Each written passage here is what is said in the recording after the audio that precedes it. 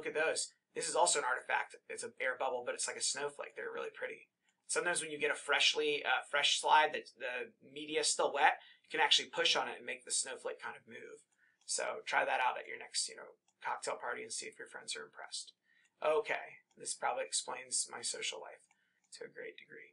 Okay, what um what do we have here as a diagnosis for 23? Maybe an epidermal nevus? That's a great idea. Epidermal uh, nevus.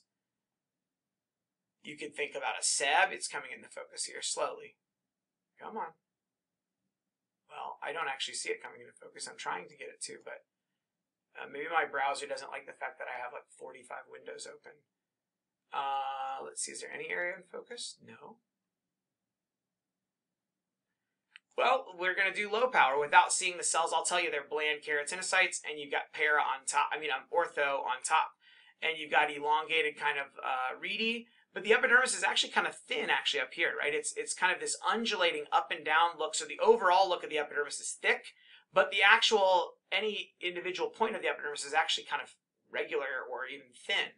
So um, this, if you had a single lesion in or or a lesion that was kind of bulging cauliflower sort of shape and it's on a kid, you could think of an epidermal nevus.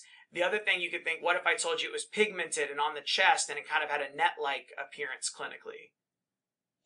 You have like CARP. Yeah, or... CARP, confluent and reticulated papillomatosis, CARP. So it's one of those things that really you need some clinical to put that together uh, because they have a lot of overlap with uh, with SEB and um, and sometimes with epidermal nevus as well. So this was labeled as CARP, and I apologize that it's not getting into focus here, but it's possible that, that it didn't scan clearly because the air bubble too. Maybe that's the issue.